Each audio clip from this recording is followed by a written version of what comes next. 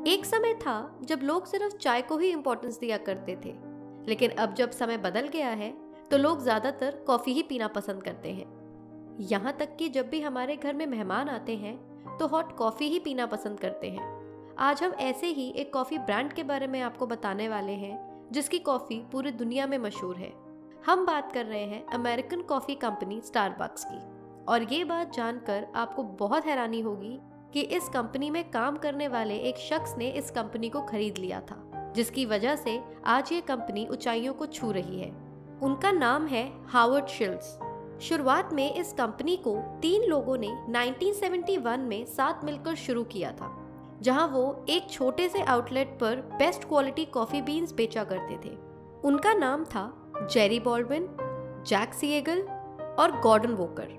दरअसल उस वक्त के एक कॉफ़ी रोस्टर बिजनेसमैन एल्फ्रेड पीट थे, जिन्हें वो तीनों जानते थे और उन्हीं से इंस्पायर होकर उन तीनों ने अपना बिज़नेस स्टार्ट किया था और नाम रखा था स्टारबक्स अपने बिज़नेस के शुरुआती दौर में वो एल्फ्रेड पिट की ही शॉप से कॉफ़ी बीन्स खरीदा करते थे और फिर आगे चल के कुछ समय बाद डायरेक्टली कॉफ़ी की खेती करने वालों से ही डील करने लगे।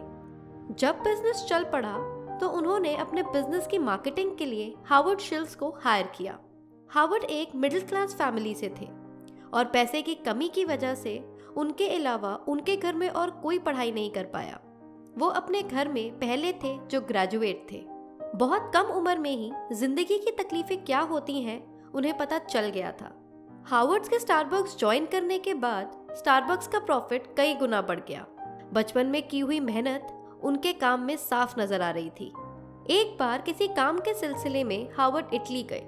वहाँ उन्होंने देखा कि कॉफ़ी पीने के लिए प्रॉपर कैफेज हैं, जहाँ पर लोग ऑफ़िस की मीटिंग और दोस्तों के साथ शाम का समय बिताने आते थे। ये देखकर जब वो वापस आए तो उन्होंने अपने बॉसेस को अपने new marketing strategy espresso coffee बनाने की सलाह दी। ये स्ट्रैटेजी कंपनी के ओनर्स को बहुत पसंद आई और फिर स्टारबक्स को भी एक कैफ़े के तौर पर खोला गया। उनकी ये स्ट्रैटेजी सक्सेसफुल हुई।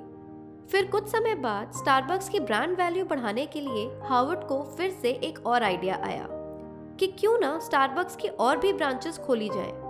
लेकिन उनके इस आइडिया को उनके बॉसेस ने रिजेक्ट कर दिया, क्योंकि वो उस समय इतना बड़ा रिस्क लेना नहीं चाहते थे।